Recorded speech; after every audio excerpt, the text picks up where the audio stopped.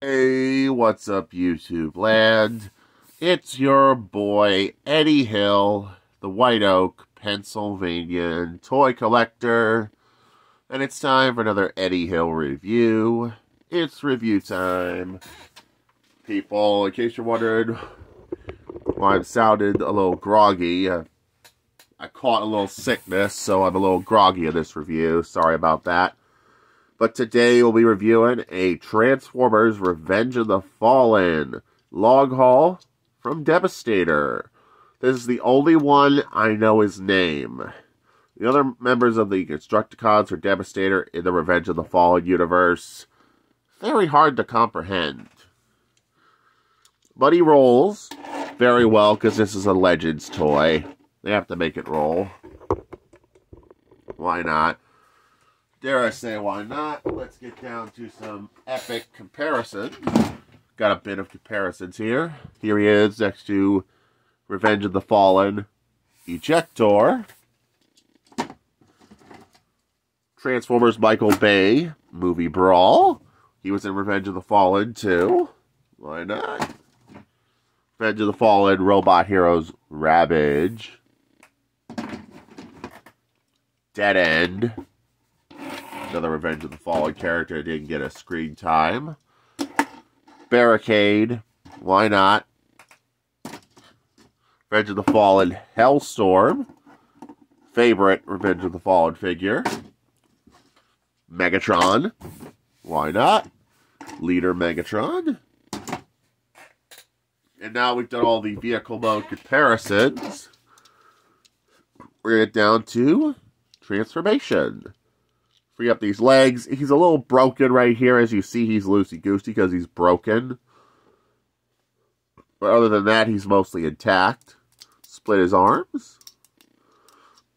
And pull him out to the side. Rotate him around. Yeah, his feet are really stuck like that, so there's no way I could show it off because he's broken a little bit as you can see right there. He broke at the peg. Otherwise, this is his robot mode. It looks pretty good. Not movie accurate 100%, but still pretty good. And now for some robot mode comparisons. Studio Series, Revenge of the Fallen. Sound Soundwave. Because he's Soundwave and yet again with Ravage. And we're going to transform the others and compare them to this figure. Why not? Dare I say, why not? Got the arms ready to go. Okay. End may be a remold of another figure from Revenge of the Fallen, but he's still one of my favorite Decepticons from the Revenge of the Fallen toy line. And not a bad repaint, if I do say so myself. Next, next to Michael Bay, Movie Brawl. I'm Gonna transform him off camera, because I've got that transformation memorized here.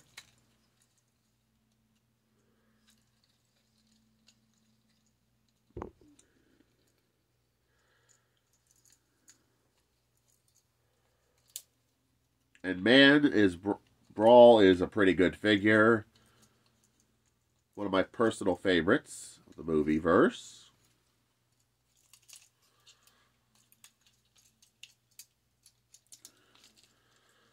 So I'm going to have to tap him in. I've done this figure so many times. I've loved this figure from the moment I got him from the uh, North Versailles flea market. If you're not here in Pennsylvania, you're watching this, you're like, if you're here in Pennsylvania, then definitely check out the flea markets.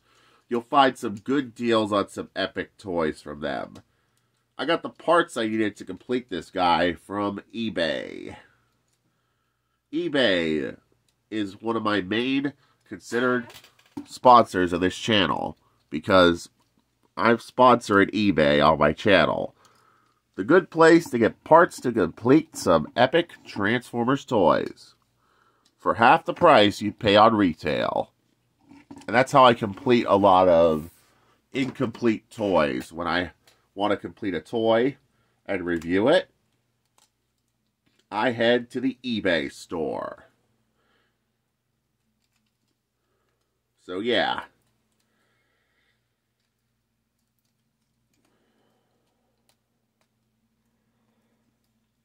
But yeah, that was Brawl next to movie Long Haul. We're going to transform Hellstorm. We'll do a group shot with Hellstorm. And then we'll do a count on how many Revenge of the Fallen Transformers I own this year. And as you know, I love the Revenge of the Fallen movie. I thought some of the designs for some of the epic Decepticons were pretty hardcore, as the saying goes. I wish they'd do a new version of Hellstorm, because I think they could have easily made a new version of him, but still, Hellstorm is probably another one of my personal favorites next to Soundwave. And now, show off another bot in this scale with Legends, Revenge of the Fallen, Long Haul with Ejector. I like Ejector from the moment I got him from from the uh, Monroeville Exchange, another toy store I hit up for Epic Toys. If you want to pick up some Epic Toys, hit up flea markets and toy collector stores. You never know on the kind of deals you'll find in these figures for half the price you'd pay online.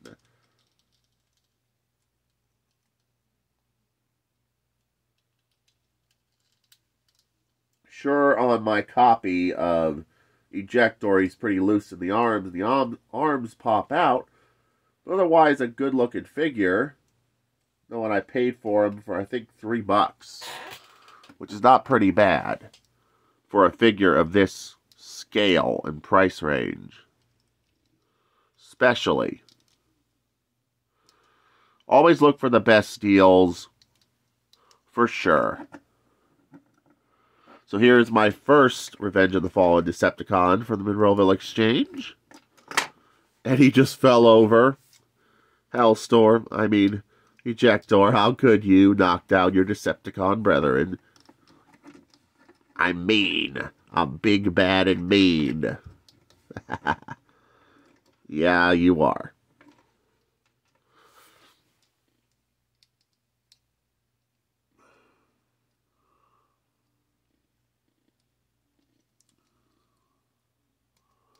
Come on, work with me here. Come on, Hellstorm, work with me.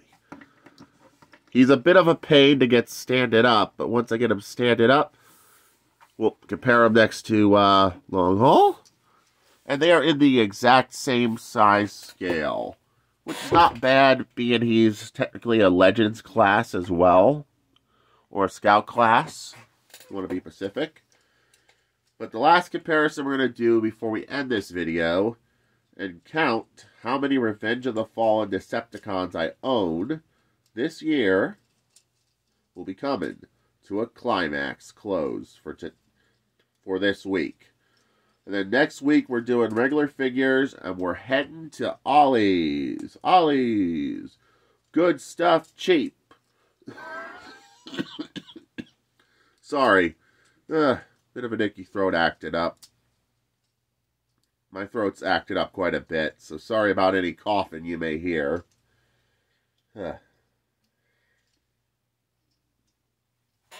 But here is the Energon Igniter Megatron. Better than the original Revenge of the Fallen Megatron figure. I just love this more than that figure, and I'll never pick that up. The original tank mode for the Revenge of the Fallen figure had so many nitpicks, but this is the better incarnation of that figure. And I just love it that much. But now we're going to count how many Decepticons we own from the Michael Bay Revenge of the Fallen movie from 2009. These figures are 11 years old this year. So we own one, two, three, four, five, six, seven, eight. Eight of these epic Revenge of the Fallen Decepticons.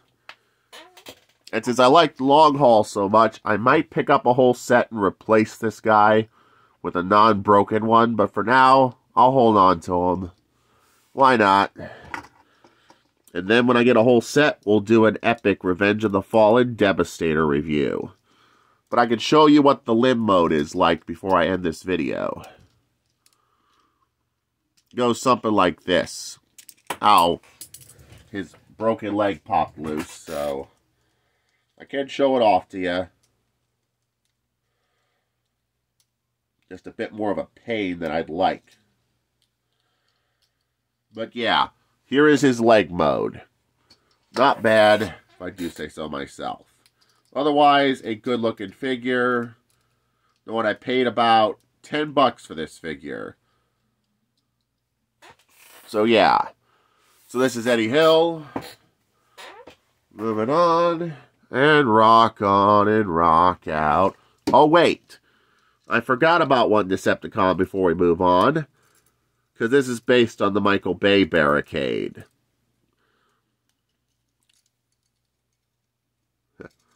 Oh, I get forgetful sometimes. But here we have Legends, Bumblebee movie, Barricade next to Long Haul. And we own about 10,